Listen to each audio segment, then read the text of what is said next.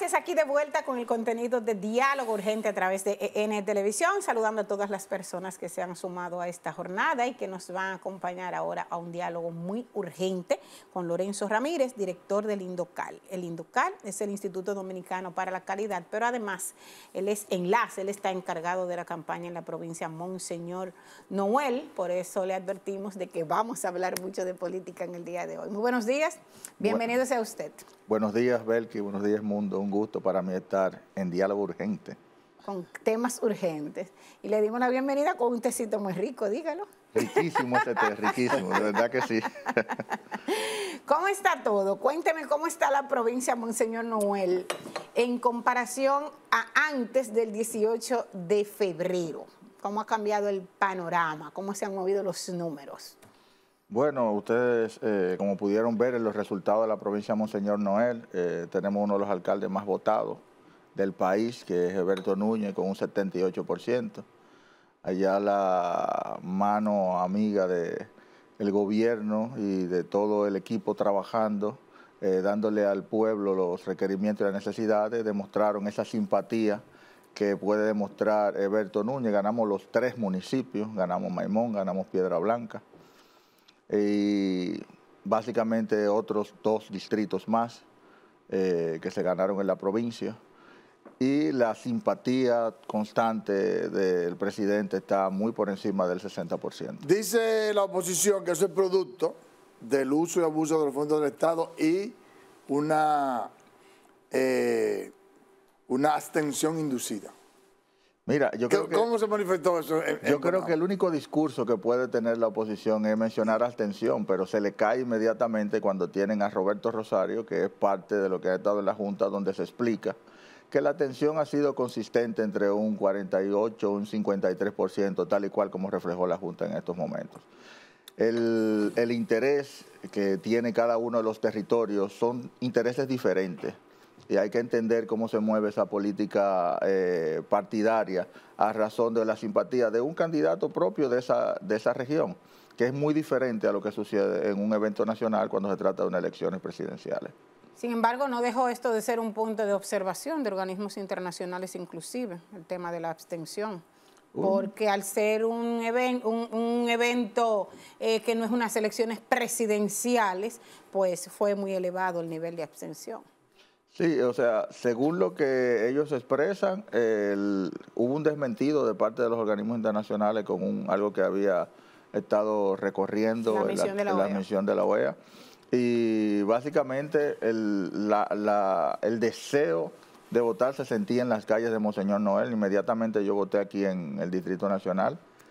Me fui al territorio, fui a recorrer cada uno de los recintos, fui a ver los diferentes establecimientos algo siempre bien, bien movido porque en, los, los distritos municipales y en la parte eh, rural pues es muy politizada siempre la, la, campaña. Y se sentía una simpatía al unísono, de hecho allá ganamos ocho regidores de, en las diferentes demarcaciones. Y en la demarcación donde perdimos ganamos más regidores que los mismos, que el mismo oficialista, que el mismo candidato que había ganado. Ya, yéndonos a las nacionales, ¿cuál es el posicionamiento que tiene el PRM, el presidente de la República, y de manera particular los senadores y diputados que tú estás controlando ahí en Bonao?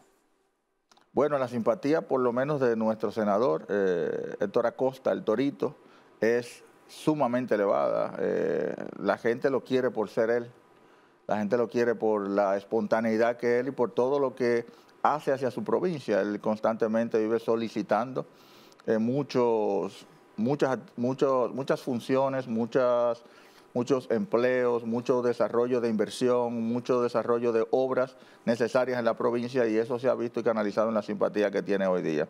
A nivel nacional te puedo decir que sin duda alguna, equivocarnos, el PRM tiene casi asegurada 27 senadurías y estamos prácticamente eh, convencidos de que el presidente Luis Abinader ganará con más de un 60% en las elecciones de mayo.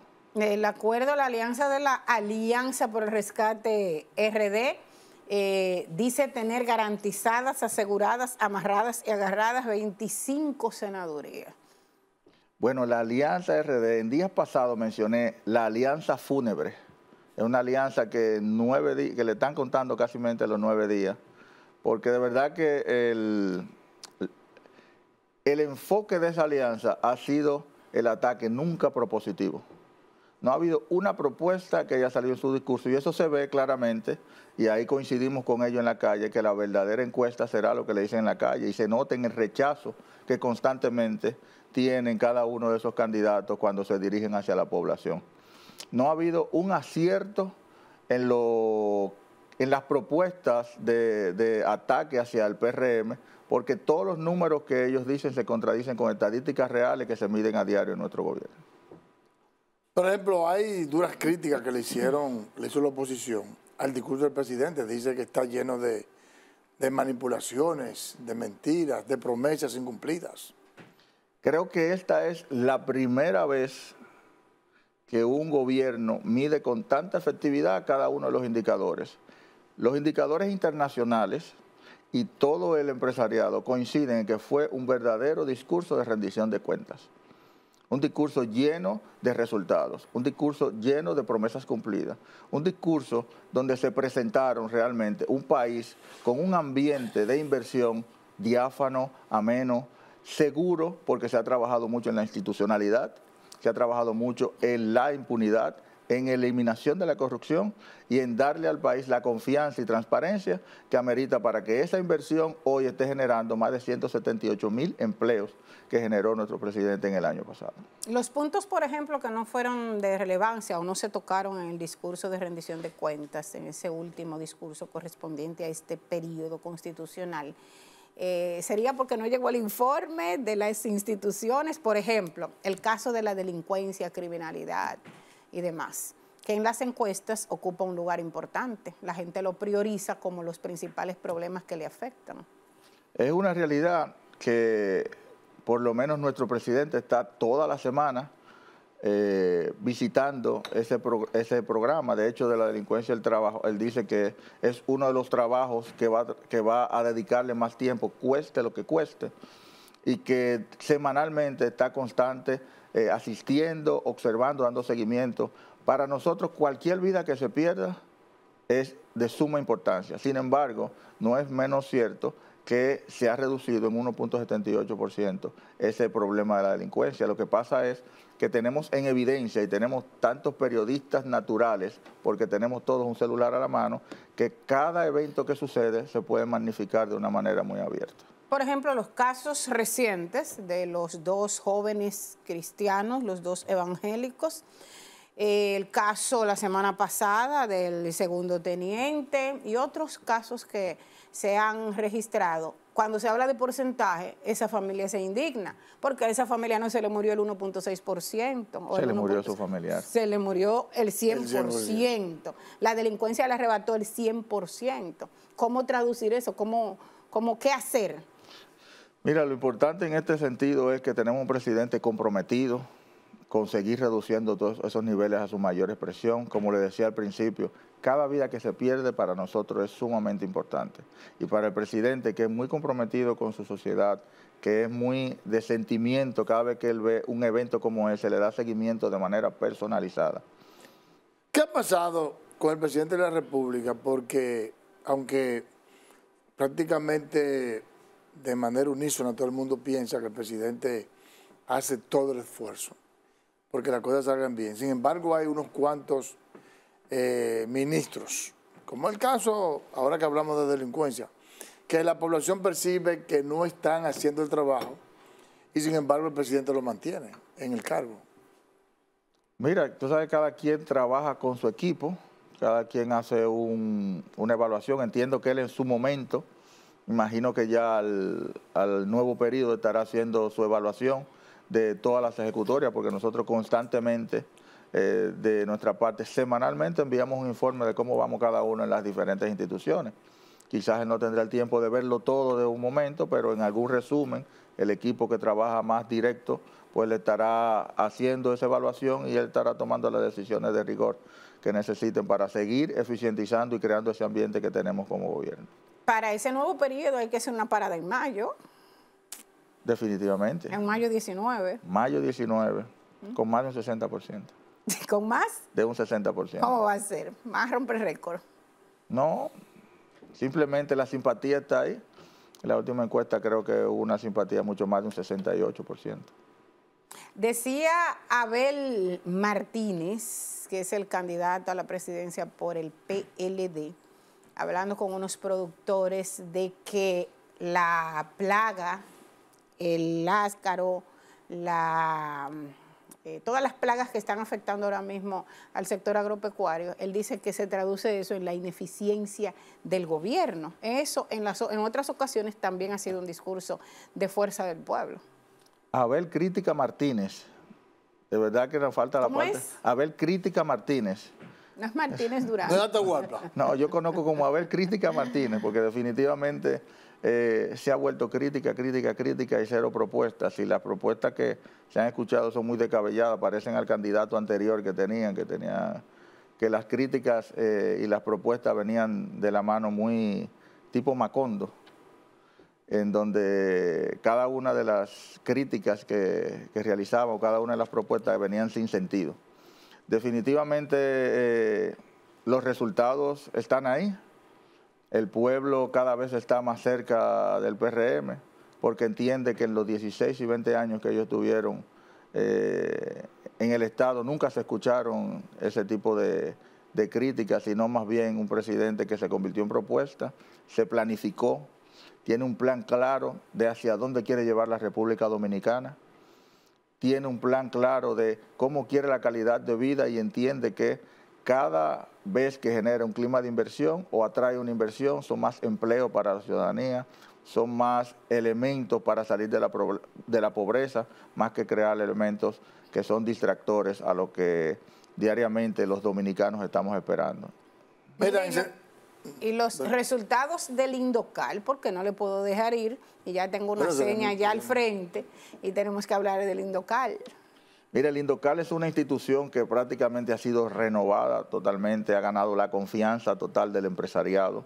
Eh, lo que hemos realizado desde las certificaciones, hemos creado nuevos esquemas de certificaciones, somos un organismo de certificación de la ISO, hemos apoyado al decreto presidencial 3122 con lo que tiene que ver con las eh, certificaciones a las MIPIMES, con certificaciones de antisoborno, de cumplimiento regulatorio, de ISO 9001.